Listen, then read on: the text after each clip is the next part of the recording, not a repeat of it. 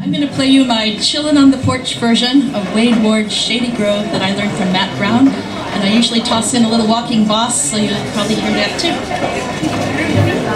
too.